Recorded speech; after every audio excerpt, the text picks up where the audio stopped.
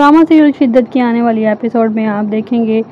عرصہ نے اپنی طرف سے کافی کوششیں کر رہی ہیں سلطان کا دل جیتنے کی، لیکن سلطان بار بار یہی کہتا ہے کہ میں دیکھتا ہوں تم کتنا اچھا بن پاتی ہے سلطان کو یہ لگتا ہے کہ عرصہ یہ سب کچھ اچھا بننے کے لیے کر رہی ہے، عرصہ سب کچھ ناٹک کر رہی ہے، لیکن سلطان کو اس بات کا آئیڈیا ہی نہیں ہے کہ عرصہ اس کے لیے کیا کچھ کر رہی ہے اور اسے کتنی محبت کرتی ہے۔ اس کو یہی لگتا ہے کہ وہ اس کا دل جیتنے کی، اس کا اعتماد جیتنے کی کوششیں کر رہی ہے۔ عرصہ کو ذرا بھی یہ احساس نہیں ہے کہ وہ اپنی سیلف رسپیکٹ کھو رہی ہے ایک ایسے انسان کے لیے جسے اس کی بالکل بھی قدر نہیں ہے۔ اس کو چاہیے کہ اسے اس کے حال پر چھوڑ دے، لیکن ایسا بھی نہیں ہے۔